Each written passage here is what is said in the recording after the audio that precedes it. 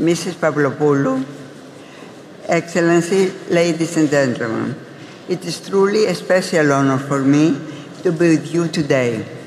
I would like to thank the Democracy and Culture Foundation, the New York Times, and the President of Athens Democracy Forum, Mr. Achilles Tsaltas, Tsaltas for their kind invitation.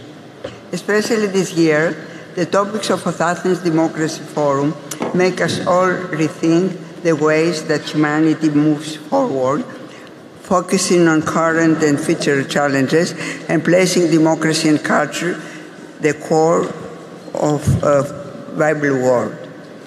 Greece has always been a country that declared the principles of peace, solidarity, and freedom, and defended human rights values that are cornerstones of viability and progress. Being on, at the crossroad of East and West, it has always been a land of dialogue among civilizations where the noblest ideals were emerged and became our compass for the ancient times until today. Athens, the birthplace of democracy, remains a city that spreads the light of culture and, human, and humanism worldwide. As a goodwill ambassador of UNESCO, I have two main priorities education and cultural heritage.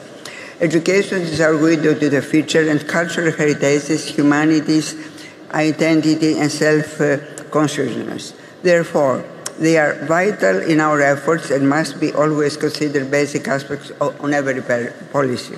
However, they are both affected by serious issues that we have to cope with in order to reach the United Nations goals to, for 2030. Humanity has to take brave steps to protect our planet, our culture, our future.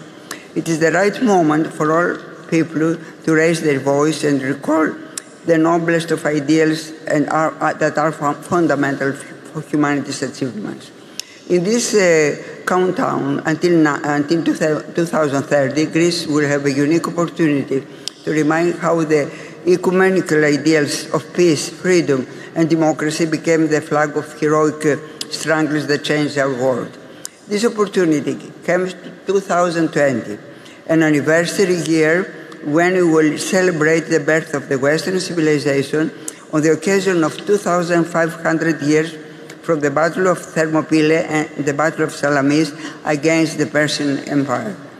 Two epic moments of Greece and of Europe that became landmarks in the history of the West world. In his book, The Cradle of European Culture, talking about the identity of Western civilizations, His Excellency, the President of the Hellenic Republic, Mr. Prokopios Pavlopoulos, recalls the Persians of Aeschylus, noting the birthday of the West.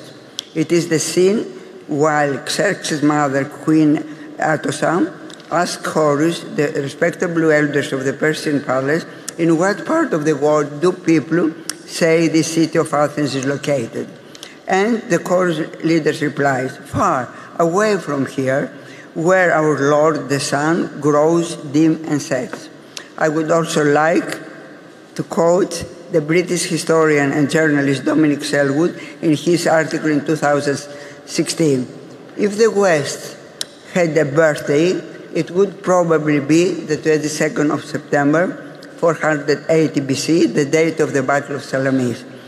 As a direct result, Athenian culture was able to thrive and quickly entered a golden age of democracy, philosophy, art, and drama, laying the foundations of the modern West. 2020 will be a year of significant cultural and educational activities, and I'm feeling deeply touched as I am sharing it with you here at the Athens Democracy Forum. And I truly hope that on this occasion, next year, the Athens Democracy Forum will be our ally and share with us the ecumenical messages emerged from the, for this special anniversary because the university, the, this anniversary is international. Uh, and I invite you all to follow us in this great effort, to join us in spreading the messages of freedom, peace, and democracy everywhere. Thank you very much.